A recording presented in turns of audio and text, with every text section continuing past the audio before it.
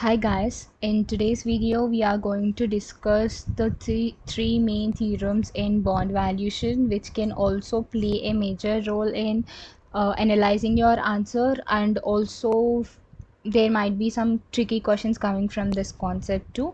In case if you haven't seen the introduction part of bond valuation, I will paste the links in the description box and you can have a look and you can come to this because if you're just seeing this uh, all of a sudden you might get bit confused okay? So make sure that you are having a clear idea on this uh, the terms that we are using in this particular concept of bond valuation. So let me tell you that you need to be very clear about two main uh, words. That is like two main concepts. One is required rate of return. Another one is coupon rate. These are the two main topics where you shouldn't confuse between these two. See i am representing coupon rate uh, with cr or and then required rate of return with k in my examples right? So i just want to give you a clear idea what is coupon rate and required rate of return. Please reason carefully. Coupon rate it is the fixed rate okay i can say that it is the fixed uh, in interest rate i can say. So it is the fixed rate of interest. It is the fixed rate of interest on the fixed face value. Okay? Uh, or we can say it is the fixed rate of interest on face value or the bonds face value okay that can also be done. Okay so in order to get not to get much confused you can say it's the fixed interest on bonds face value. So i hope you have a clear idea about what is face value. So face value is something like the value on which the bonds are issued by that particular firm or the government. So according to that face value they will issue some fixed rate of interest which is called as coupon rate then what is required rate of return? See suppose let's say a person a is here and he wants to invest uh, regarding the bonds in some particular firm. So he will uh, try to expect something from this right? So for sure he needs some return for sure. He will expect those returns. Like if he's investing for sure we will expect something from that uh, investment right? So that is called required rate of return. Like here it's completely about required rate of return. It is the interest rate that a person who is investing is expecting. Or i can say that the minimum return an investor expects to achieve by investing in a project. Like suppose here a person is there he is investing. So the minimum return i can say it as the minimum return an investor. So here a is an investor so he is investing. So the minimum return an investor expects. So here he is not getting it he's just expecting. If i invest i might get this much of return. So the minimum return an investor expects to achieve by investing in a project is called as required rate of return. So please be careful with uh, these two terms required rate of return and coupon rate or another word for coupon rate is interest rate. Okay? So these are the two main things that you need to be aware of so that you will never get doubt or confused in this theorems okay? And i hope you already have an idea about ytm yield to maturity current yield market price face value. So without any further delay we will go ahead with the theorems. So the first theorem the theorem 1 that i'm going to discuss is completely the relationship between any guesses? Okay. So the relationship between required rate of return and the coupon rate. So these are the this the relation between these two is our theorem 1 so there is a small things uh, that you need to take it into notice because it can also help you to analyze your answers whether you're getting a correct answer or not.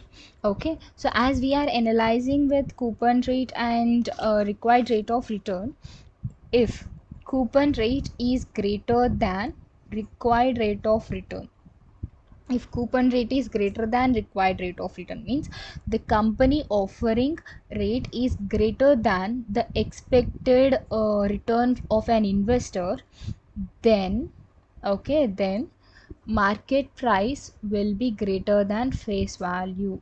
Okay remember this order because if coupon rate is greater than required rate of return market price will be greater than face value.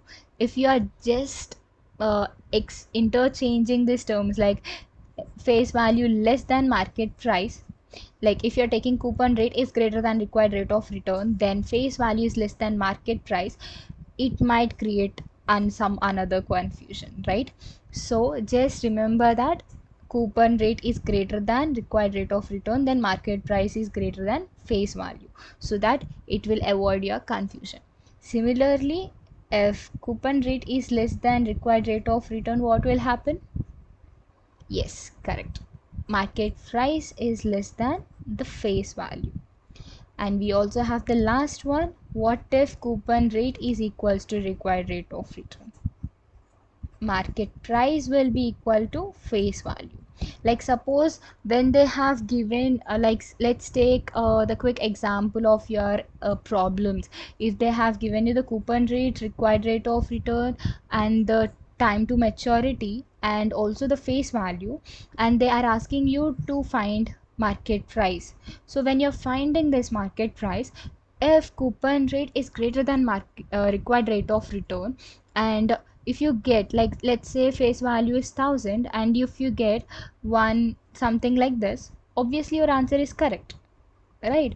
If it is getting 900 it means somewhere you went wrong. Got it? So using this theorem you can easily predict your answers for sure. Yes? So this is one of the trick and this is the most important theorem that one must remember. So this is theorem 1 relationship between required rate of return and coupon rate. I hope this helped. Like suppose let's say coupon rate is 12% and required rate of 10% so like the if the face value is 1000 the market price can be around uh, something like this. Uh, if i say vice versa if it is 8% and if it is 10% it will be like less than. If the face value is 1000 it will be around 970 960 around. It depends on the number of years also at the same time. Okay remember the concept. It also depends on number of years. Got it? Next if coupon rate is great uh, equals to required rate of return for sure this will be 1000 and this will also be 1000 remember this might come in your mcq questions so please pay some attention here. Okay? So i hope you have an clear idea about theorem 1 so without any further ado we can go ahead with theorem number 2 so the next theorem is theorem 2 which is completely about discussing about the effect of number of years to maturity. Okay? So i told you right? Years of maturity can also play an important role in determining the market price yield to maturity and everything right? So it also plays an important role in also calculating the market price. So please remember one thing that if if required rate of return. If required rate of return is greater than the coupon rate then the discount on bond declines. When it declines as maturity approaches. So as maturity approaches means let me take you a quick example and then reiterate the same sentence once again okay let's say i have bought the bond at uh, thousand rupees. Okay let's say i have bought the bond at zero uh, like thousand rupees. In the zeroth year right? There will not be any year. So after one year i can see there is some decline. And later on a bit decline. Okay and so on it will go ahead and when it comes to the final year okay let's say that my uh, so the five fifth year that means like it will be 4 here it will not be 5 let me tell you why. Because here if i'm starting with 0 and it is 5 so it will be like 1 2 3 and 4 right? So it will be like 0th year i have already covered this right 1000 so here in the last year that is in the nth year okay? So in the nth year it will be around like let's say the fifth year of the bond it will be around uh, 940.41 something like that. It means when the required rate of return is greater than coupon rate the discount on the bond goes on decreasing okay so it goes on decreasing and when i get at the end it will be less than my face value. Okay like less than the value that i have bought. So as the maturity increases as the maturity well like when i'm approaching near to my maturity period that is approaching near to my fifth year then it will be decreasing uh, along with this. So this is the effect of number of years of maturity. Let's say if required rate of rate is less than coupon rate then what will happen? Then it will start increasing. It will not decline and it will not uh, like decrease. So as the maturity period increases it keeps on increasing okay? That will be like the bond will be at premium. So it will be at uh, like this and so on in this year it might be around uh, 1400 something like that. Means for sure it will be it will see some increase in it. Okay?